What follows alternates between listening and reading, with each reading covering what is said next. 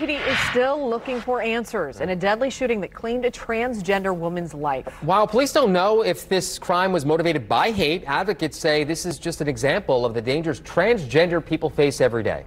News 8's multicultural reporter Katiera Winfrey has more. Sarah Blackwood's death marks the 33rd transgender death in the U.S. so far this year. This memorial for her continues to grow, and advocates say although the person who took her life didn't care about her life, we should. These balloons and flowers are a solemn marker for a life cut short.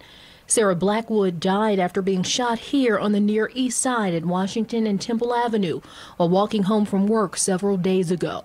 Easy going person everybody liked her. Blackwood was a transgender woman, and for so many people like her, moving through the world brings constant challenges. Gender Nexus is a transgender advocacy group and nonprofit. The founder says transgender deaths are now tracked, and Blackwood's death marked the 33rd case, adding, Transgender people often face hardships when it comes to finding stable employment, housing, and health care, while often also being targeted with violence.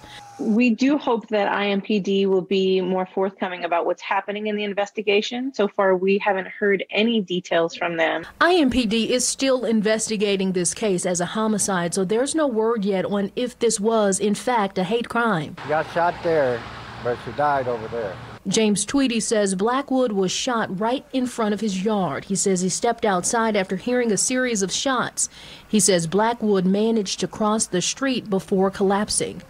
So I ran over and seen she was shot and called paramedics and the police. Tweedy says Blackwood walked this route often, and it's sad to see someone with so much life taken so violently and friends have set up a fundraiser in her memory. The nonprofit Trinity Haven will use some of the funds to help its organization continue its work providing temporary housing for LGBTQ youth. Now, IMPD says if you have any information about this case, to come forward. Reporting in Indianapolis, Katiera Winfrey, Wish TV, wishtv.com, and follow us on Facebook.